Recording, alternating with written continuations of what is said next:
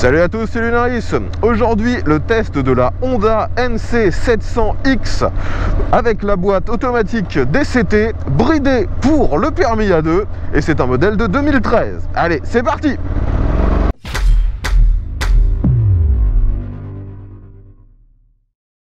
Les amis, aujourd'hui j'ai encore la chance d'avoir un de mes abonnés qui a fait pas mal de routes pour me ramener euh, cette moto qui est quand même assez rare sur nos routes. Si vous suivez ma chaîne depuis plusieurs années, vous aviez peut-être déjà vu le test de la NC700S, qui est globalement la même machine que ce que j'ai aujourd'hui, mais la S c'est la version Roadster et la X c'est la version, vous le voyez, un peu plus trail. Donc c'est un trail qui se veut quand même routier, hein. il n'y a pas réellement de vocation euh, à faire du tout-terrain avec cette machine. Je rappelle pour ceux qui ignoreraient euh, ce qu'est cette NC700 qu'il s'agit d'une moto qui a été conçue par Honda dans un but réellement utilitaire et surtout économique. À l'époque, euh, lorsque cette machine est sortie, on était avec un baril de pétrole qui coûtait une véritable fortune et donc Honda a voulu penser à ceux qui roulent au quotidien en moto. Donc, ils ont fait une moto qui reprenait un peu euh, les caractéristiques d'un scooter, c'est-à-dire une boîte automatisée. C'était une des premières boîtes euh, DCT, donc euh, Dual Clutch Transmission, c'est-à-dire en français une boîte automatisée à double embrayage. Et cette moto, comme je vous disais, se voulait très utilitaire, reprenait des caractéristiques un peu de scooter, également au niveau bah, des rangements. Vu que sur cette moto, Lorsque l'on veut ranger quelque chose, on ouvre tout simplement ce qui est habituellement le réservoir. C'est suffisamment euh, grand pour euh, y mettre un casque intégral et le réservoir, lui, a été euh, décalé à l'arrière. La trappe se trouve sous le siège passager, ce qui recentre les masses, une fois de plus, assez bas. Et la moto donc se veut utilitaire, surtout dans cette version trail qui est un peu surélevée c'est vraiment euh, la machine à tout faire et économique.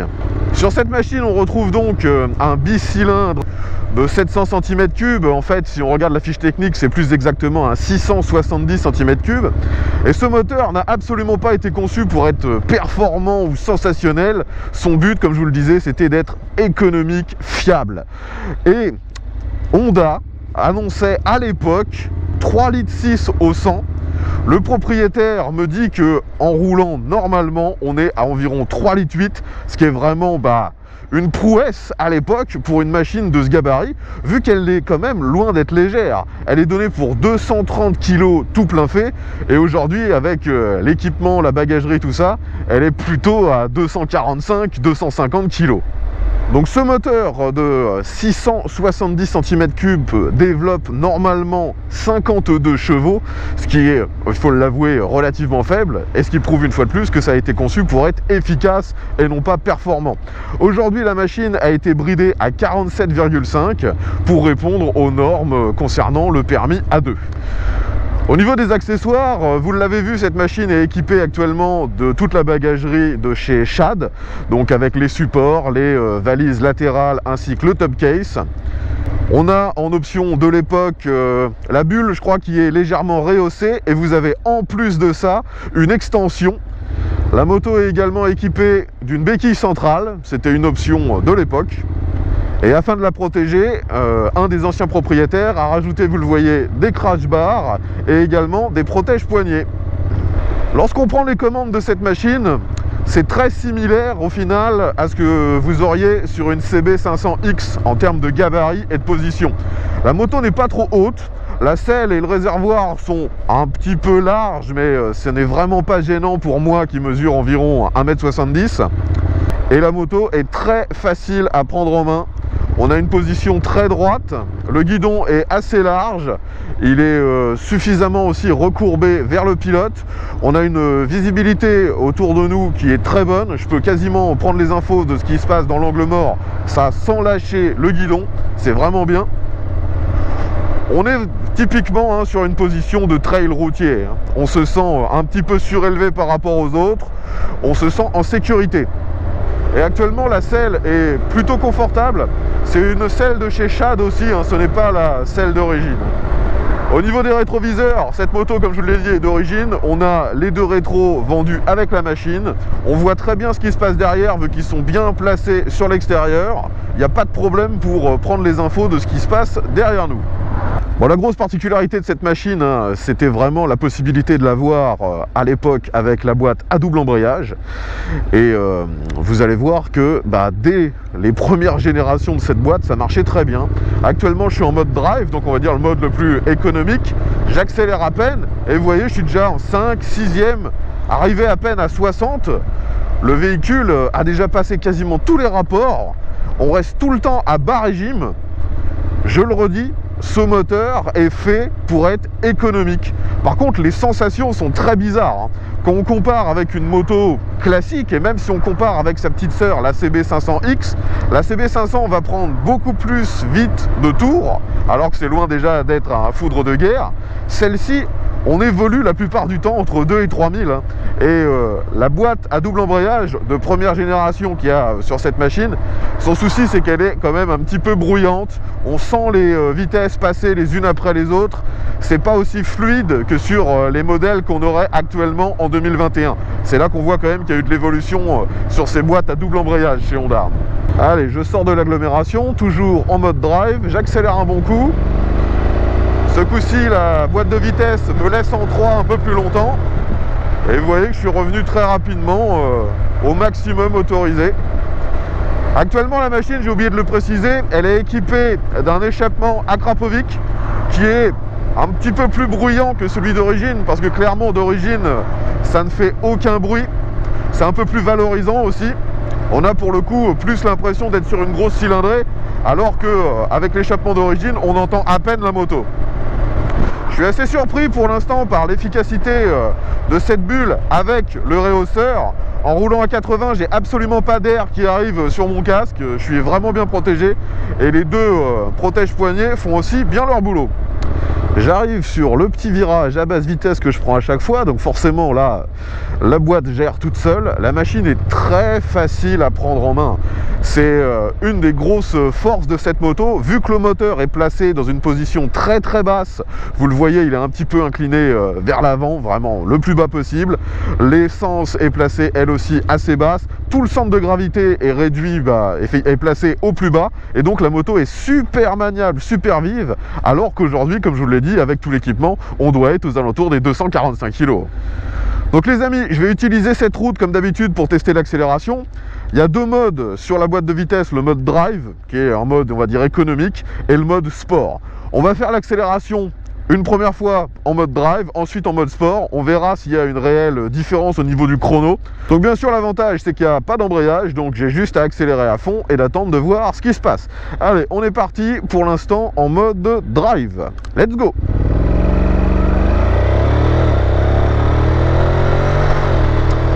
On arrive à 90 et 100 en troisième. Maintenant, je ralentis. Alors sur cette machine, euh, on a un CBS, c'est-à-dire un freinage combiné. Quand on freine de l'arrière, ça freine aussi un peu euh, de l'avant. On va retenter ça juste après. Je vais utiliser euh, maintenant cet espace afin de faire demi-tour. Vous voyez que du haut de mon mètre 70, je touche des deux côtés, mais j'ai pas les deux pieds complètement à plat. Je signale bien sûr mon intention de faire demi-tour, je braque à fond, l'angle a l'air euh, assez standard, je suis pas obligé de me pencher beaucoup pour maintenir mes mains sur le guidon, c'est euh, assez euh, banal dirons-nous. Je maintiens un tout petit filet de gaz, et est-ce que je vais réussir à faire demi-tour? Eh bien oui, vous voyez que c'est plutôt bon en fait en termes d'angle de braquage. Je passe maintenant en mode sport, on voit que ça l'affiche sur le compteur, et je retente l'accélération. Allez, let's go. Donc les vitesses passent un petit peu plus haut dans les tours, et j'arrive à 100 en troisième également. Maintenant je freine, alors le frein arrière comme je vous l'ai dit, il est plutôt bon parce qu'il euh, est couplé avec l'avant, le frein avant, par contre, est un peu plus mollasson, dirons-nous. Et surtout, le problème, c'est que euh, le levier de frein avant n'est pas réglable en écartement. C'est assez rare hein, de voir une machine qui a presque un frein arrière euh, de meilleure qualité que le frein avant. je vais continuer en mode sport. On voit que les vitesses passent quand même un peu plus euh, tard. Et il y a moins d'à-coups, il y a moins de vibrations. C'est plus agréable, très clairement. Et le propriétaire me disait que lui, il restait en mode sport quasiment en permanence. Hein. Ça ne change pas grand-chose sur la consommation. Allez, un petit rond-point. Cette machine est vraiment hyper facile à prendre en main, elle est instinctive, elle se balance toute seule, malgré son poids et son gabarit. Les pneus sur cette machine ne sont pas énormes, c'est du 17 pouces, on est en 120 à l'avant et 160 à l'arrière. Alors au niveau des commodos, si vous connaissez les autres motos bien sûr euh, équipées de la boîte DCT, ça ne va pas vous surprendre, c'est la même chose. Pour les autres, on a euh, sur le côté droit le coupe-circuit démarreur, on a également de quoi passer du mode neutre, drive et sport, ce que je vous ai déjà montré précédemment. On a également une gâchette à droite qui permet de passer en mode automatique ou mode manuel. Le mode manuel vous oblige à passer euh, vous-même vos rapports, mais euh, ça reste quand même automatisé d'une certaine façon, car si vous ralentissez trop en oubliant de redescendre vos vitesses, la boîte va s'en charger elle-même, elle ne va pas vous laisser caler. Sur le côté gauche, on a bien sûr tout ce qui est éclairage, les feux de détresse, le klaxon et vous avez les fameuses gâchettes plus et moins afin de forcer le passage des vitesses. Au niveau du compteur, c'est assez basique hein, et c'est exactement le même que sur sa sœur, euh, la version euh, S.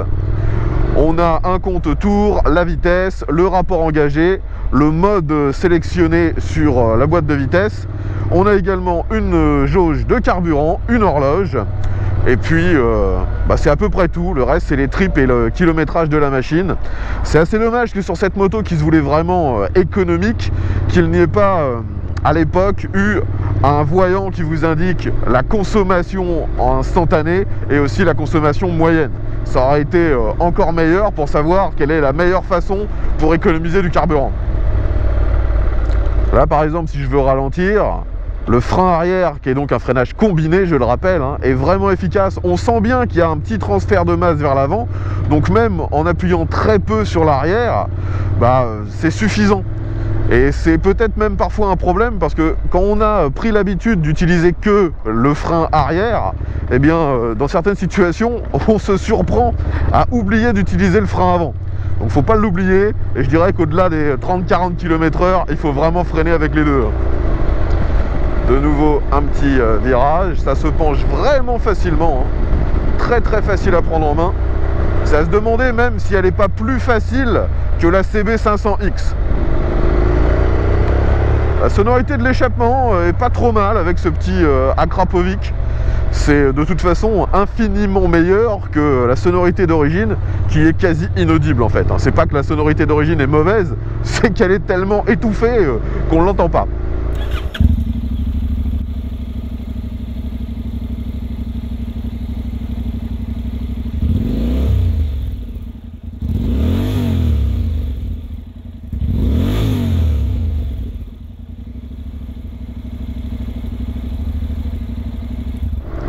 Je suis en côte, j'accélère un peu. Les reprises sont satisfaisantes. Hein. C'est loin d'être fou, mais c'est efficace. Hein. De toute façon, cette moto a clairement été conçue pour ça. Ce qui est surprenant en fait, venant d'une machine de ce gabarit, c'est que lorsque vous voulez vraiment relancer un peu fort, bah, on se retrouve très rapidement à accélérer à fond. Et c'est un peu déstabilisant. Surtout que esthétiquement, actuellement avec les valises, les top case, on a l'impression que c'est quand même une grosse machine, elle est valorisante. Elle fait un peu, euh, on va dire, un, chaînon euh, intermédiaire au niveau du style entre la CB500X et la VFR 800X. Alors, j'arrive sur un petit Dodan que je vais bien sûr prendre à 30 km h Suspensions sont un peu molles. À l'avant, c'est une fourche classique, euh, elle n'est pas réglable.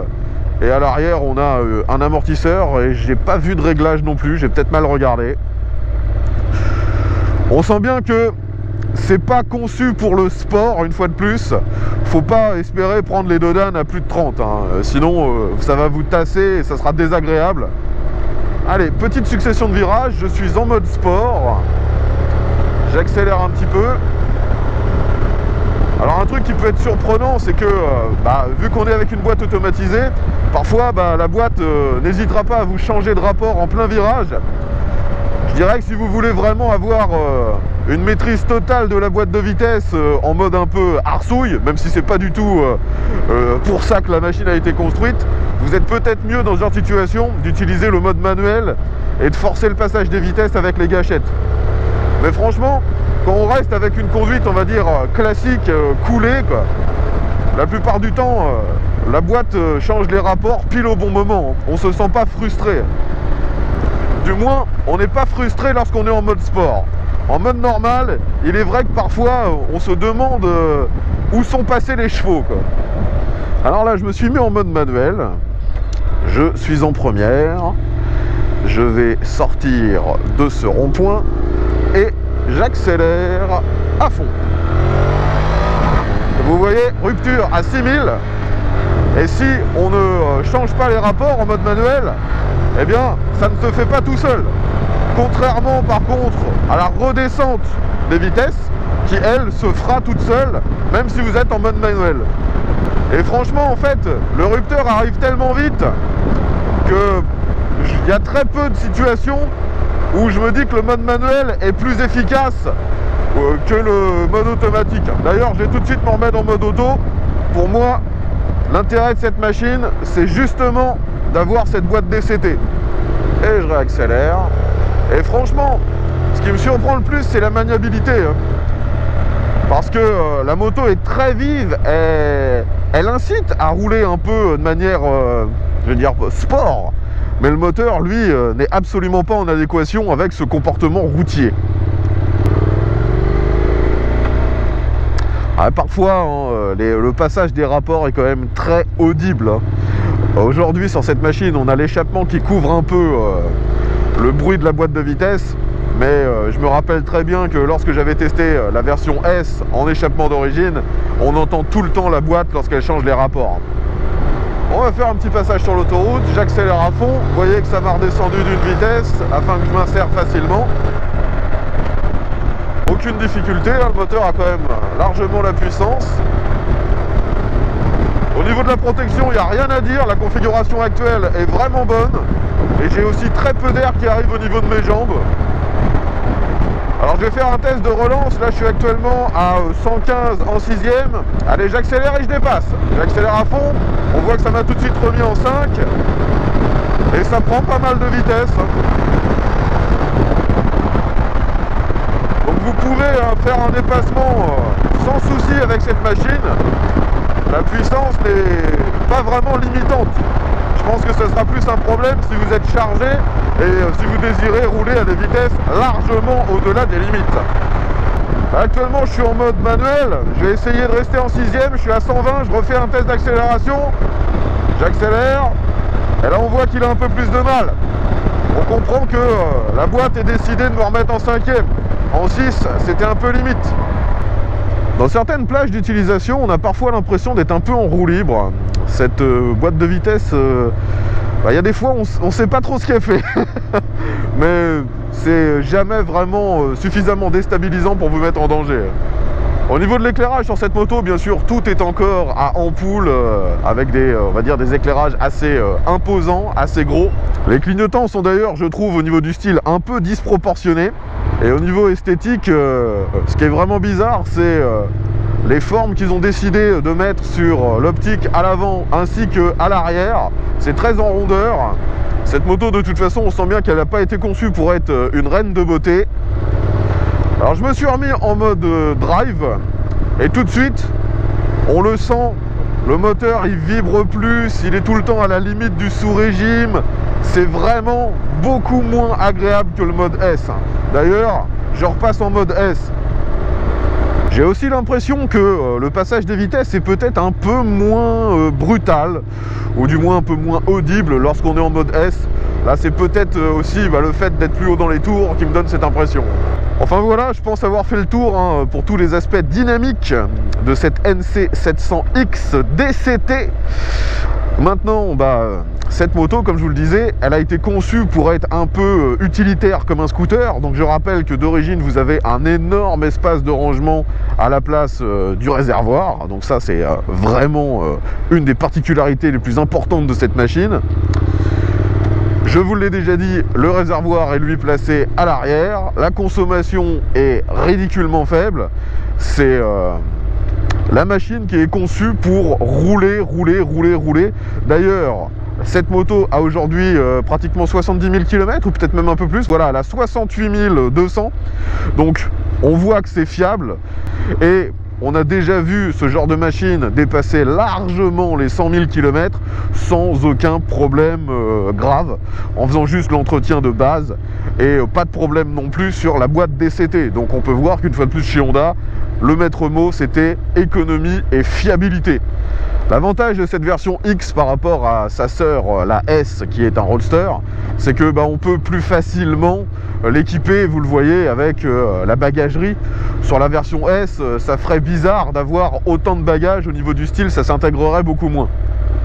Et cette position un peu plus droite et mieux protégée fait que cette version X est encore meilleure pour un usage au quotidien. Donc cette moto a été euh, distribuée en France entre 2011 et 2014 si je me souviens bien. Et euh, actuellement elle n'est plus distribuée, elle a été remplacée par la NC 750X, toujours avec euh, la boîte DCT. Cette moto était vendue à l'époque un peu moins de 8000 euros et on l'a trouvée même en promo, je dirais, entre 7000 et 7005 pour une version DCT. Maintenant, si vous voulez son équivalent neuf, la 750, eh bien, c'est 9400 euros, donc bien plus cher.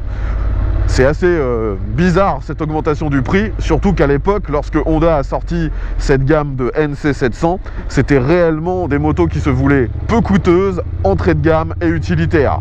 Maintenant, euh, on va dire qu'elles se sont un peu embourgeoisées. À l'époque, cette euh, NC700X était distribuée aussi bien en boîte mécanique qu'en boîte euh, à double embrayage. Cette version à double embrayage est bien sûr plus chère d'occasion, d'environ 1000 euh, à 1500 euros de plus. Actuellement, un modèle comme celui-ci, en bon état, ça vaut dans les 4000, 4500 euros. Après, tout dépend bien sûr hein, de l'équipement, du kilométrage. Mais je vous l'ai dit, le kilométrage n'est pas forcément euh, un problème vu que c'est ultra fiable. J'espère avoir fait le tour des caractéristiques de cette euh, NC700X DCT A2 de 2013. Si vous avez des questions concernant cette machine, eh bien mettez ça dans les commentaires. Si vous possédez cette moto ou si vous l'avez possédée, que ce soit la version S ou la version X, dites-nous vos retours d'expérience. Est-ce que vous avez eu des problèmes? Est-ce qu'il y a des accessoires qui vous semblent vraiment euh, indispensables sur cette machine? Ce sera bon d'avoir votre retour d'expérience parce que bah, cette machine n'a pas forcément été extrêmement populaire en France. Je tiens encore à remercier l'abonné qui est venu jusqu'ici pour me prêter cette machine. C'était super sympa de sa part. Et ça me permet de vous rappeler également que l'ensemble des tests sur ma chaîne sont toujours faits en collaboration avec mes abonnés. Donc si vous disposez d'un véhicule, que ce soit moto ou voiture, et que vous aimeriez me voir en faire le test sur ma chaîne, eh bien contactez-moi. Tous les moyens de le faire sont dans la description. Je rappelle que je me situe en Normandie, dans la région de Rouen. Merci à ceux qui me contacteront. J'espère que vous aurez apprécié ce test. Si c'est le cas, pensez à mettre un petit pouce vers le haut, partagez la vidéo sur les réseaux sociaux. Et puis, bah, j'espère que vous allez vous abonner vu que je fais ce genre de vidéos très régulièrement. Il me reste plus qu'à vous dire à bientôt et surtout, mais à tous